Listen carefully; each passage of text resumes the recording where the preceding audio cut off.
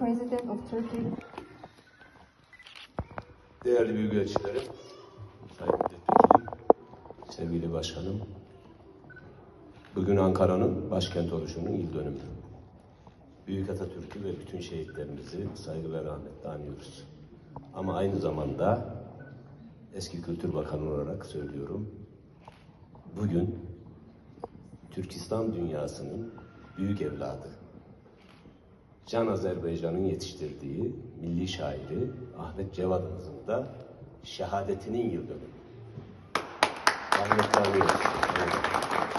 Evet, bu etkinlikte emeği geçen herkese ben de şükranlarımı sunuyorum Sayın Vekilim. Kültür, sanat, milletleri birbirine buluşturduğu gibi ayrı beşiklerde büyümüş kardeşleri de birbiriyle kucaklaştırmaya vesiledir. Çok isabet bir faaliyet. Onun için sizi kutluyorum.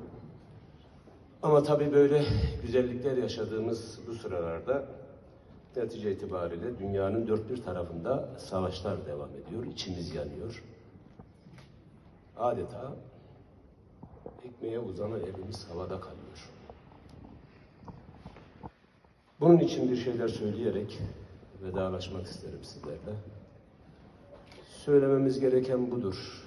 Yani Türkiye Cumhuriyeti'nin başkenti, milletimizin evi, külliyeden söylememiz gereken şudur ki, İsrail'in aşırı sağcı Benjamin Netanyahu hükümetinin Gazze'de işlediği insanlık suçuna destek olan başta Amerika Birleşik Devletleri ve diğer ülkelere Kennedy'nin sözüyle bir hatırlatmada bulunmak isterim.